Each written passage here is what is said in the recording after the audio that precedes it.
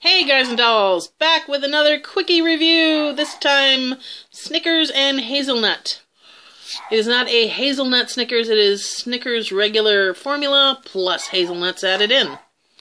Let's see if it uh, adds or detracts from the usual Snickers. Now, I'm not a huge Snickers fan, at least not the original Snickers. I have enjoyed uh, almond Snickers quite a bit. This is Snickers and hazelnut. I do like hazelnuts. Let's uh, see what we got in here. I can open it. It's been in the fridge, so it's going to be a little bit uh, firmer. Probably should have let it sit out, but I wanted to get this done. That's what it looks like. Let's try to pull it in half. There's the inside.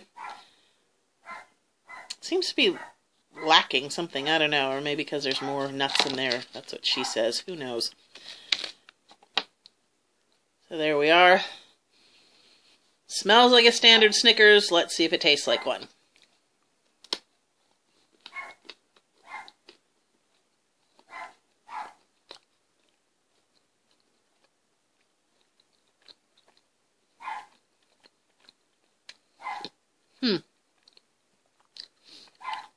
Tastes mostly like a normal Snickers, except there is the added flavor of the chopped hazelnuts, which I think actually improves it.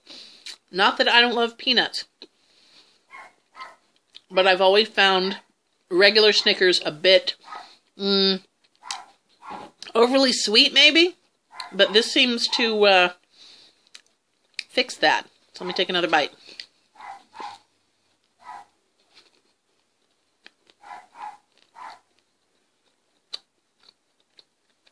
Yeah, I like this.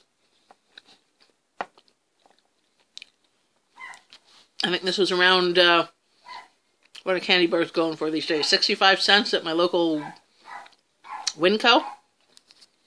I've been looking and looking for this, and the first time I found it. Um, yeah. The flavor of the peanuts and the hazelnuts go together really nicely. So I can definitely recommend it. So, if you're in the market for a different kind of candy bar, may I suggest this? All right, that's it from everyone here in the Smith household, including that barky Rory the Wonder Pony outside. I want to bid you happy snacking. Find those chocolate treats where you can. And most of all, take care. Woo! Bye-bye.